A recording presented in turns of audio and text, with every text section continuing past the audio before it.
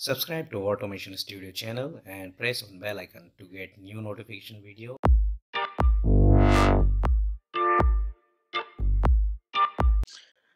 Hello guys, welcome to Automation Studio. Uh, in this video, we are going to see how to use uh, Appium desktop app um, and how to inspect our elements using iOS and Android app. Uh, so let's start with this. so I do have uh, already installed my Appium desktop okay? And uh, how to install it on Mac. So in order to know that you can refer my earlier videos. And uh, here is my uh, simulator for iOS uh, that is iPhone X 11.2 so how to install uh, Xcode and simulate in your machine. So again you can go ahead and watch my earlier videos for that okay so once you will set up your machine with these two things then you will be good to go okay? So obviously if we have to uh, start with the automation we need an app right? So I will first show you with, for the iOS. So I have these two apps. One is for iOS one is for Android okay? So okay so now let's start with this Appium desktop. So what is the version we are using here first? Very important. So this is the Appium version we are using 13131 okay?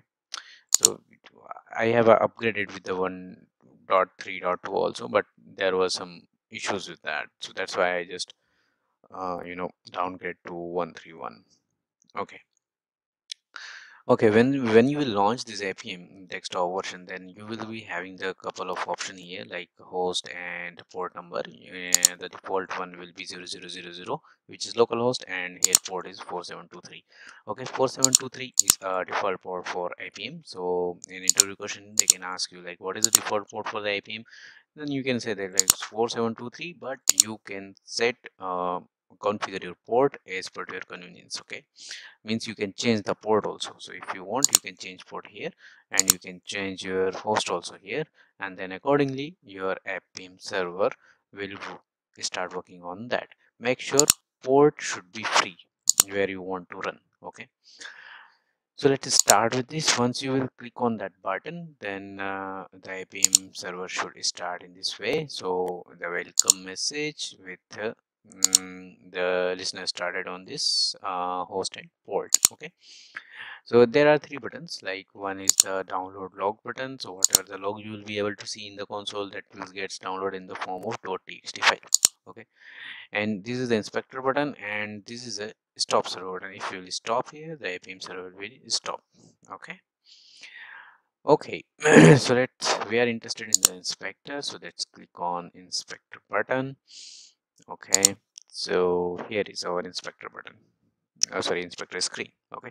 So we have a couple of options here. So we have custom server we have Sauce Lab we have test object integration but we are now in this tutorial we are going to talk about the automatic server option only. So we have to suppose like our Appium server is running in our local machine and now we are going to use it as for the inspect inspecting the app okay so now for the let's come to the desired capability first okay? So we have uh, first app. So let's uh, uh, go to app and uh, take the full path okay? So okay so i will copy it. So we have the capability called app okay?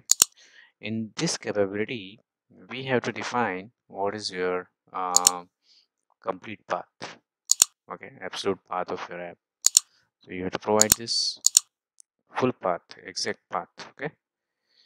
So that it's going to install in your device right? So which app you want to install in your device so you have to mention here right?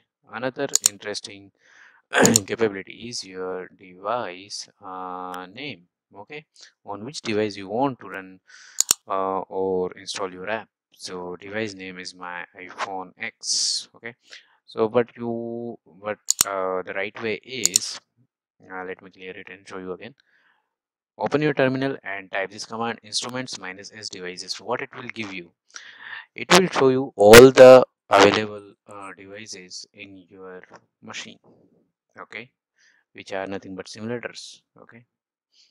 So just click on the uh, sorry just enter and it will show you like i have the iphone x on 11.2 and within that this id is also there. So let let me just uh, first uh, enter this one and then i will tell you about that also. So this is about my device name okay? It might be possible like i could have the two iphone x 11.2 uh, running simultaneously on my machine. Then uh, how my code and how my script knows like on which iphone x 11.2 i want to install this app.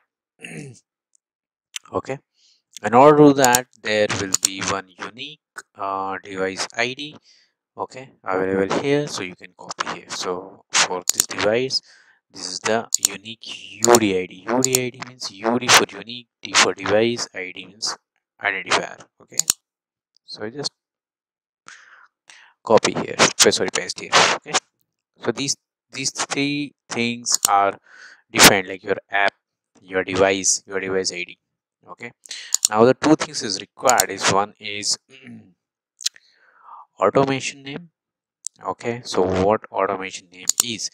As per to the new changes for the ios side uh, for uh, about the Appium is like they have come up with the XUID uh, framework now. Okay. So for that they have defined automation name capability in order to deal with the ios devices. It should be xui test. Okay you have to mention this capability so that they can understand like okay uh, this script has to be run with the xuid framework. Okay. And another is platform name. Okay so as we know like uh, uh, so let me mention here. First uh, iOS okay. So and start session. So as we know like uh, Appium is uh, supporting multiple platform android and ios so we need to explicitly mention here like on which platform our, our script is going to run.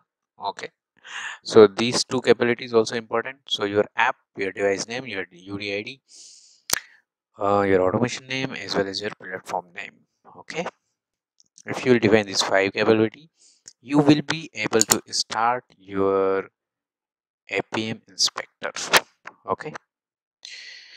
So this is how it will uh, launch your Appium inspector. Okay. So so let's start with this menu. So this is the select element menu. So if you by default it will be selected so that you can mouse over on that and it will start inspecting. Okay. Recognizing the elements. See if you click on that it will show you these all the property of this mobile element okay? Okay now it's a start recording button it's a search for element button and then it's a quit session okay? So we'll discuss on these two. So first uh, the interesting point is like just click on any uh, element and here uh, the relative actions as per to this element will appears get appears. So you can tap on this element okay even send keys is applicable for input type but you can't clear a button right? You can just do an action of tap okay? If you perform here tap it will tap on that particular button. Let's try that tap see? And it's so it gets executed in this device see? It is now load now logging doing the login. And the particular screen will gets automatically refreshed okay. It's not totally refreshed see but uh, you need to explicitly refresh from here. So let's uh, talk about these find by strategies and attributes. So here are the attributes and here are the find by strategies okay? So we have id and we have xpath here. So i want to ensure like it's it, it, it should work or not. So let's copy it and then click on this uh, search icon and uh, it's xpath so drop down select xpath and just paste over here and then search over here. So it's showing like they have find uh, one element. Just click on that element and it will get gets highlighted here. It could be possible like multiple element can be find. Okay so here it will show you like how many elements uh, it's going to find by your this XPath strategy. So only one element is available on this screen. So that is perfectly fine. Okay. And here you can tap on that and uh, this action can you can perform with this element. Okay. So go back. So now I'm interested in ID. Okay. So ID, what is ID here? ID here is login. So let's say login and just search that so login id will also also work okay.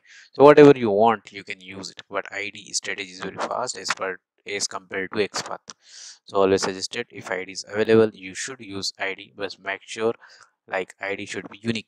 Okay? So that's how you can uh, verify like your id is unique or not within that screen. Okay? Perfect. Now the question comes to the attributes. So how to use these attributes? Suppose where you don't have id you have the very clumsy and lengthy xpath okay? Then how you will use these attributes okay? So let's talk about that. So you have the name you have class name you have uh, accessibility id so many things you have here right? So uh, you can use the name as login also see? Right you have the name over here so you have used the name over here okay? And you have the class name over here but class name is not uh, you know its class name is nothing but this button. So xuid element uh, type button you can use that also. This is a type this is a class name only you can use that but that is not suggested suggestible because the class is very vast within the page. So many elements can be using the same same class okay? Okay so uh, let's talk about how to use the different uh, attributes okay which is not listed here. So you can use it with the help of xpath itself okay? So uh, let's suppose i want to use label okay? And uh, the label is unique. So i can say star means for any um, element type okay and then I should say at the rate uh, label and then a label should be uh, login okay? And let's search. So it is able to identify the element here one element okay? Let's see. Yes okay? So like that uh, if you want to use the attribute you can uh, construct your xpath okay? And you can identify like the strategy is perfectly working fine or not. So you no need to try on your scripts. So this inspector will provide you a mechanism to search and find an element here itself. Okay? Perfectly fine. So now what uh, we are going to see is start recording. Okay? Click on that start recording. It will give you these couple of options to convert your script into this language okay let it be java junit and then you have the clear action. You have copy code. So just select the login button. Okay. And then click on tap option. So see i have clicked on uh, the sign button label. At the rate label is equal to login. Okay. And here also by id login. And i have clicked on this particular element element dot click. Okay. So let me refresh it once.